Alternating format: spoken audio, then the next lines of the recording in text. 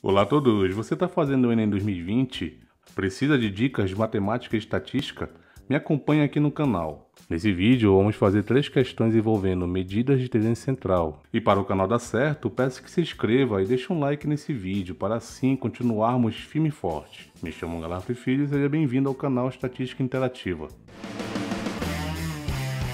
Se puder, apoie o projeto financeiramente, tornando-se membro do canal por apenas R$ 2,99 ao mês. Link na descrição ou na aba Seja Membro, abaixo desse vídeo. Ao final de uma competição de ciências em uma escola, restaram apenas três candidatos. De acordo com as regras, o vencedor será o candidato que obtiver a maior média ponderada entre as notas das provas finais das disciplinas Química e Física, considerando respectivamente os pesos 4 e 6 para elas. As notas são sempre números inteiros. Por questões médicas, o candidato 2 ainda não fez a prova final de Química. No dia em que sua avaliação for aplicada, as notas dos outros dois candidatos em ambas as disciplinas já terão sido divulgadas. O quadro apresenta as notas obtidas pelos finalistas nas provas finais. Tá, a menor nota que o candidato 2 deverá obter na prova final de Química para vencer a competição é. Primeiro vamos analisar aqui o peso que está colocando para cada disciplina. Então, o peso de Química é 4 e de Física é 6. Logo, se a gente for calcular média ponderada, o candidato que tiver uma nota maior em Física, as chances deles aumentam bem mais do que para Química. Então, bora analisar o seguinte: o candidato 1 tirou 20 em Química, vou multiplicar isso aqui por 4, porque o peso da prova de Química é 4, mas ele tirou 23 em física. Então, eu vou multiplicar por 6, que é o peso. Isso aqui eu vou dividir por 10, que é a soma dos pesos. 4 mais 6 igual a 10. Fazendo toda essa conta, a média será igual a 21,8. Tá, isso aqui é o candidato 1, beleza. O candidato 2, que é o que tu ainda vai descobrir, como a gente não tem nota de química ainda, eu vou chamar de x, tá certo? E aí multiplicar isso por 4, mais a da física ele tirou 25 e vale peso 6. Vou dividir isso aqui também por 10, só que eu ainda não tenho o valor final. Já o candidato 3, ele tirou em química 21, multiplico por 4, e ele tirou 18 em física, multiplico por 6. E vou dividir isso aqui por 10. O valor final que eu vou chegar é em 19,2. Então, quanto que o candidato 2 tem que tirar em química para que ele possa passar do candidato 1, que a média é de 21,8. Bom, o candidato 2 ele tirou 25 já na prova de física. Vai ser 4x mais 25 vezes 6 é igual a 150. Isso tudo dividido para 10, e esse resultado tem que ser maior que 21,8. Então vai ser 4x mais 150, e esse 10 que está dividindo, ele passa para o outro lado multiplicando. 21,8 vezes 10 vai ser igual a 218. Então 4x, eu vou repetir aqui o 218, vou passar o 150 para cá, subtraindo, ok? Isso vai ser igual a 68. Beleza. Então C2 vai ser igual. Pega esse 4 que está multiplicando com x, passa para o outro lado dividindo dividindo. Então, 68 dividido para 4. Então, x vai ser maior, precisa ser maior que 17. Cheguei na minha resposta final. Como a questão fala bem aqui, é que as notas são sempre números inteiros, então um número inteiro maior que 17, mais próximo vai ser o 18. Logo, vai ser a letra A, beleza?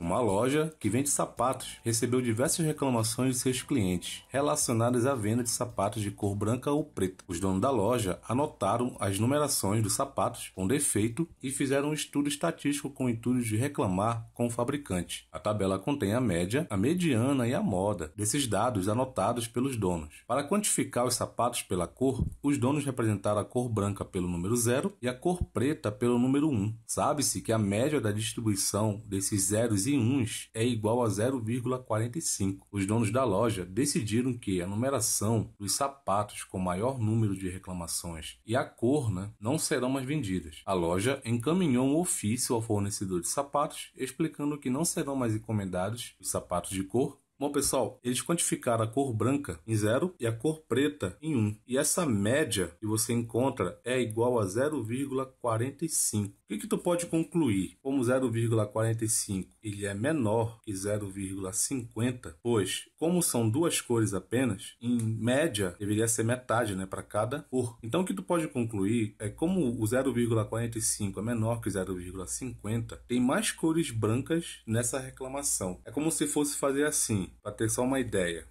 Se fosse 5 sapatos brancos e 5 sapatos pretos, por exemplo, você teria uma média de 0,5 para cada cor, ok? Porque teria que pegar os 5 zeros da cor branca, os 5 sapatos brancos, e os 5 uns dos sapatos pretos. Fazia essa soma e dividia por 10. E aí você encontraria 0,5. Porém, como deu valor abaixo de 0,5, esse caso aí deu 0,45 e ele é menor de 0,5, nós podemos concluir que tem mais sapatos brancos do que pretos, ok? Se o valor fosse acima nesse caso tivesse mais sapatos pretos do que brancos, esse valor seria a mais do que 0,5, ok? Mas a média deu 0,45. Então a gente pode concluir que a, a cor branca é a cor que não será mais vendida. Agora fica mais fácil, sabe por quê? Porque dessas três medidas de tênis central, nesse caso aqui, média, mediana e moda, a medida que tem a função de verificar a informação que mais ocorre é a moda, certo? Então, nesse caso aí é o 38. Então, a resposta correta vai ser a letra A, branca e o número 38. Então, a cor que não será mais vendida é a cor branca e numeração 38, beleza?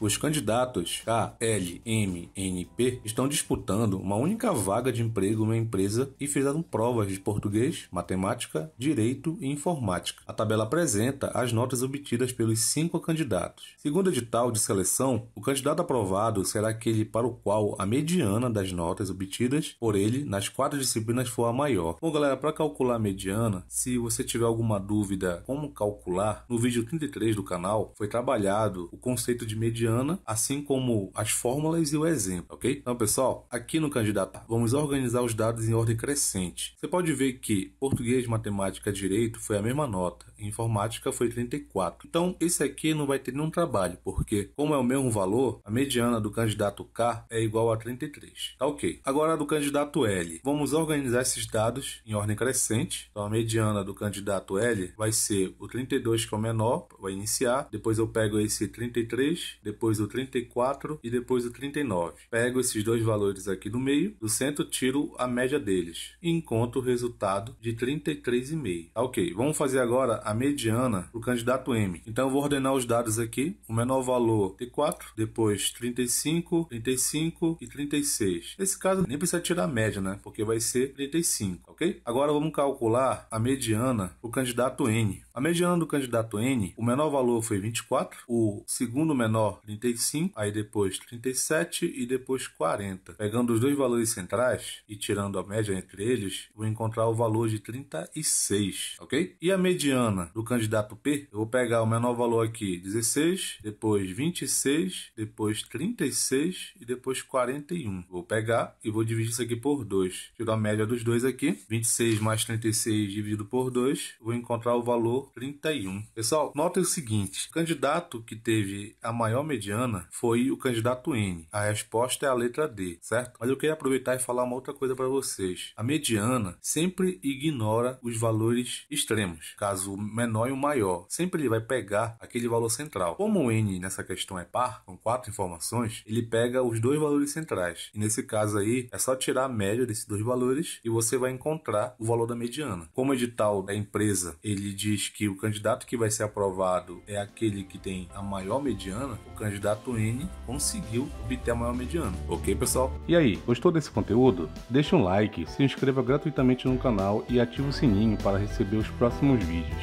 No card acima, segue a playlist da revisão do Enem. Valeu, um abraço e até o próximo vídeo.